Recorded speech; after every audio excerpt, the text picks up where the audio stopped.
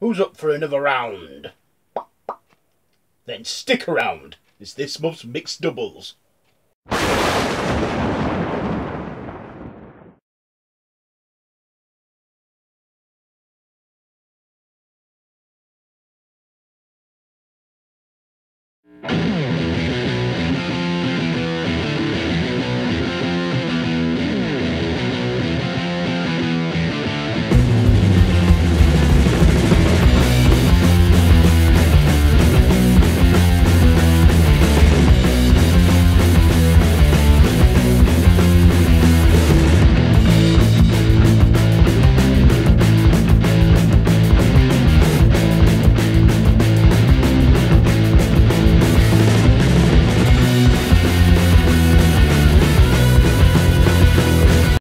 Why, hello there, YouTube, and welcome to this month's Mixed Doubles on Random Horror, the horror review show where every month, on the first Friday of every month, I review two horrors in one go from two different subgenres, but similarities as well in there.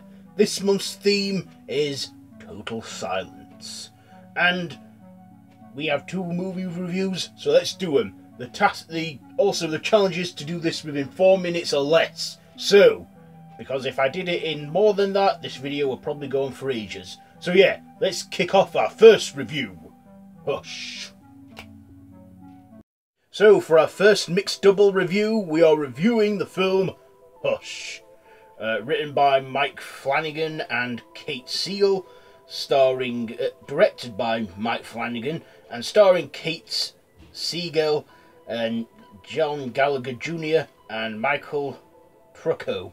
So this is a 2016 psychological horror thriller about a writer who's deaf and she lives out in this isolated uh, house in the middle of nowhere and you know she just wants to get away from it all where she can write a book in peace and she's deaf and then next thing a creepy guy in a mask soon revealed to just be a nutter played by John Gallagher Jr.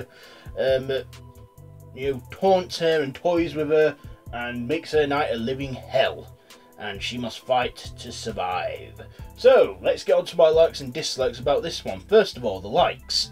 I liked the. Uh, I liked this film. It was like home invasion thriller. In fact, it was home invasion thriller, and our protagonist was a deaf woman, and you know, in in her head she used like her inner voice to think her way through these things. So I like that she was a smart person and not a dumb one. I also like the man that uh, played by John Gallagher Jr. That's all he's credited as the man. At first he wears a mask that almost looks like sort of like Michael Myers ish, like, but um, soon takes it off, ruining the mystery.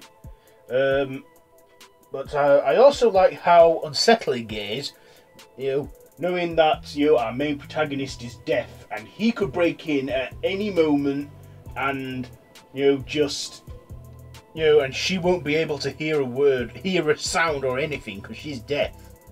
Um yeah but in real life the actress who plays our main protagonist uh, kate siegel uh, she realised she's not deaf. And again she speaks with sign language which is what i'm familiar with as well. And you know just like the next one we're going to review next you know this has the teamwork of a couple because you know, in real life, she is Mike director Mike Flanagan's wife, um, and they made they did this film together. And for some reason, I think couples that do work on a film together, it well, obviously it does work from what I've seen up to now. Um, so yeah, any dislikes? I don't really have any because it was a good suspenseful film. It had a good score, unsettling, and yeah, I, I was just entertained throughout this film. This came available on Netflix, and I think it's still on Netflix, so check it out.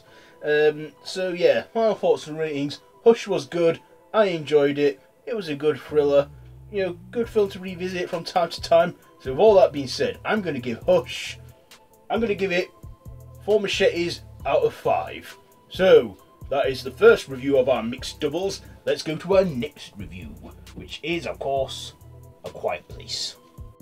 So for our second mixed double reviews, we are reviewing A Quiet Place, uh, directed by John Kiddery, Krasinski, uh, also starring John Krasinski, and his wife, Emily Blunt. Uh, this is a post apocalyptic horror where a family are trying to survive um, in a world where there are monsters out there that feed on sound. And if you make a noise, you're pretty much dead and they will eat you. So, um, let's get on to my likes and dislikes about this film. So first of all, the likes. I like this film. Uh, it had a, uh, you know, it, uh, you know, I found it very suspenseful and unsettling, and I have to say, John Krasinski, um, you know, did good for his directorial debut. I'm assuming this is his first directing film uh, that he also starred in with Emily Blunt. Her performance too was great, and the the way they acted in this film with the doing the sign language and the talking.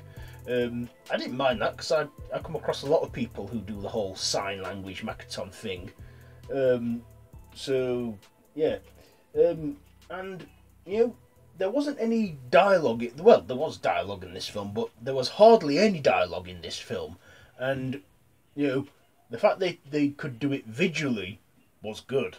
You know, I mean, it's sort of a modern silent film, but it's um, but there is just there's like one scene with some see, with dialogue when um, when the mother and the father, Emily Blunt and John Krasinski, are talking amongst each other, um, and also um, in this film, you know, there's like a difficult situation. The mother is pregnant and in the final act of this film, uh, they try to distract the alien monsters with fireworks while she gives birth, and she has to stay extra quiet. And I thought that was very suspenseful. I was like on the edge of my seat, thinking, "Oh no, what they're gonna do?"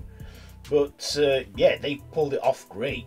I also like the look of the monsters in this. They were like sort of the Demogorgon from Stranger Things, and they like fed on sound. Um, I thought it was pretty unique. I mean, I've not really seen a film like this before, uh, at least when I saw it last year. Uh, but yeah, it's pretty decent. My dislikes, uh, I can't really think of any. Another thing I liked was the young actress that they had playing their daughter. Uh, her name Millicent uh, Simmonds. Am I pronouncing that right? Yeah, she did a great job playing their deaf daughter. Then I find out she's actually deaf in real life, so that explains why she was so good in this film. The fact that they have a real deaf actor in this film. And we discussed in the previous one that the lead actress in this, she wasn't deaf at all, but anyway, back to A Quiet Place. I thought this was a, a, an okay film, you know, it's, um, you know, I liked it, enjoyable, so Cinematography, directing was good. So with all that being said, I'm going to give A Quiet Place. Um, you know what? I'll give this a three and a half machetes out of five. Three and a half machetes out of five for A Quiet Place. So now with the reviews done, there's only one more thing to do, and that is the shoutouts. Let's go.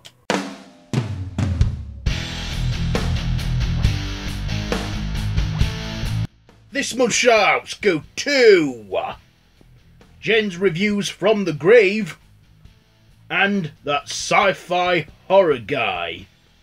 Be sure to check out those two brilliant YouTubers and to tell them that I sent you their way. Their channels are linked down below in the description. So, yeah, go for it.